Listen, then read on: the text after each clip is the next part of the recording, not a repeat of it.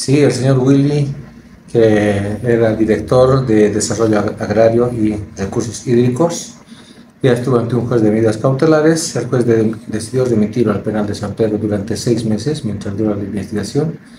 Él eh, está siendo investigado por el delito de violación. El hecho se habría suscitado el 9 de febrero, el viernes de Chaya. Eh, habrían consumido bebidas alcohólicas, al parecer, al interior de, la, de esta subalcaldía.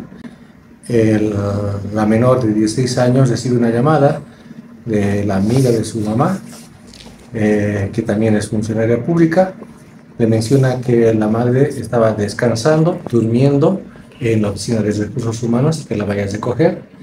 Ella, saliendo del colegio, tenía, estudiaba en el turno de la tarde, va a la subalcaldía, ingresa, porque observa que los funcionarios estaban bailando en la plaza, ingresa a la subalcaldía y es interceptada por este sujeto, Willy, de 41 años, quien la quien la intercepta y la lleva a su oficina, donde la agrede sexualmente.